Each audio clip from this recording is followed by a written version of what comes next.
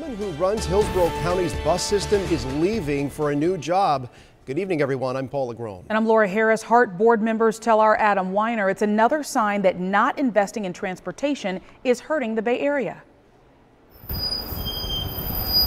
Just a month after reworking the routes for the entire Hart bus system, really well. CEO Katharine Eagan found a new route for her career, leaving sunny Florida for Pittsburgh, Pennsylvania. Very few places have somebody like Katharine. Now, Mike Suarez and the rest of the Hart Board of Directors have to replace her. She is going to be sorely missed. We have a great team here now.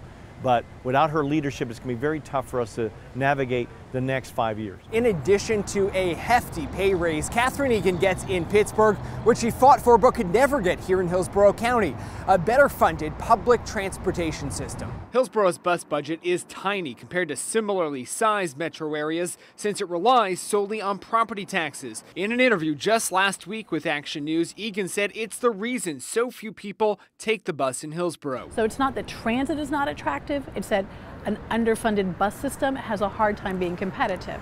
That's just a reality of it. And even though Eagan is credited with making the bus system more efficient, some Hart board members fear the small budget makes the CEO vacancy a less coveted position. We cannot be an effective economic engine for the rest of the west coast of Florida unless we have a significant investment in transportation. Eagan was in Pennsylvania today for the announcement of her new job as CEO of the Pittsburgh area's Port Authority. Her last day with Hart will be January 5th. The board of directors will pick an interim director in December. In Hillsborough County, Adam Weiner, ABC Action News.